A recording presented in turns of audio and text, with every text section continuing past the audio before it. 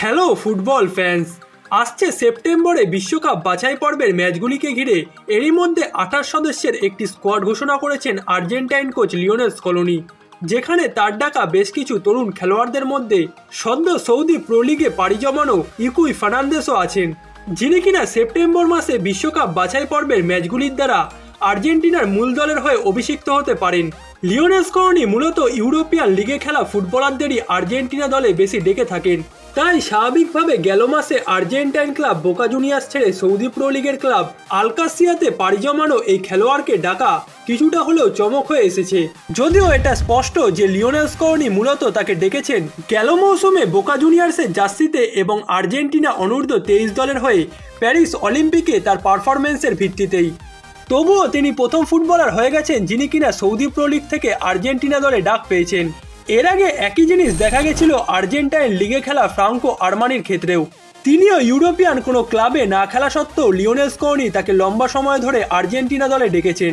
এমনকি দু হাজার বিশ্বকাপ থেকে দু হাজার একুশ সালের কোপা আমেরিকা পর্যন্ত আর্জেন্টিনা দলের মূল গোলকিপার ছিলেন তিনি। কিন্তু কোপা আমেরিকা থেকে ইমিলিয়ানো মার্টিনেস তার জায়গাটা দখল করেন। তারপর থেকে তিনি মূলত ব্যাকআপ গোলকিপার হিসেবে আর্জেন্টিনা স্কোয়াডে ডাক পেয়েছেন। এমনকি দু হাজার চব্বিশ কোপা আমেরিকা স্কোয়াডেও ছিলেন তিনি। ফ্রাঙ্কো আরমানি ছাড়াও জুলিয়ান আলভারেজও এমন খেলোয়াড় যিনি কিনা ইউরোপিয়ান ক্লাবের হয়ে না খেলেই আর্জেন্টিনা স্কোয়াডে জায়গা পেয়েছিলেন।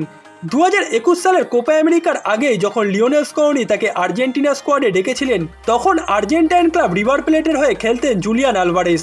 এরপর দু হাজার বাইশ সালের মাঝামাঝি সময় বিশ্বকাপ শুরু হওয়ার আগেই তিনি ইউরোপিয়ান ক্লাব ফুটবলে পাড়ি জমান। এছাড়াও থিয়াগো আলমাদাও এমন ফুটবলার যাকে কিনা লিওনেল স্কোনি ইউরোপিয়ান ফুটবলের বাইরে থেকেই আর্জেন্টিনা স্কোয়াডে ডেকেছিলেন। দু বিশ্বকাপের আগে যখন লিওনেল স্কোনি থিয়াগো আলমাদাকে প্রথমবারের মতো আর্জেন্টিনা স্কোয়াডে ডেকেছিলেন, তখন আলমাদা মেজর লিগ সকারের ক্লাব আটলান্টার হয়ে খেলতেন। যদিও সেপ্টেম্বর মাসের বিশ্বকাপ বাছাই পর্বের ম্যাচগুলির জন্য স্কোয়াডে একাধিক তরুণ খেলোয়াড়কে ডাকা হলেও তাকে ডাকেননি লিওনেল স্কৌনি ইকুই ফার্নান্দেস মূলত একজন ডিফেন্সিভ মিডফিল্ডার, যিনি কিনা গেল কয়েক মৌসুমে বোকা জুনিয়ার্সের ইউথ টিম এবং মূল দলের হয়েও খেলেছেন।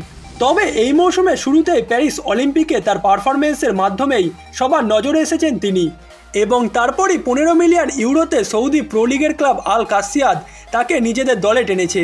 এর আগেও অবশ্য ইকুই ফার্নান্দেসকে আর্জেন্টিনা স্কোয়াডে সুযোগ করে দিয়েছিলেন লিওনেল স্কর্নি এর আগে দুটি প্রীতি ম্যাচের জন্য লিওনেল স্কর্নি স্কোয়াডে জায়গা পেয়েছিলেন ইকুই ফার্নান্দেস কিন্তু সেই সময় তিনি চোটের কারণে খেলতে পারেননি। তবে এবার অবশ্যই আর্জেন্টিনার মূল দলের হয়ে অভিষিক্ত হতে পারেন তিনি।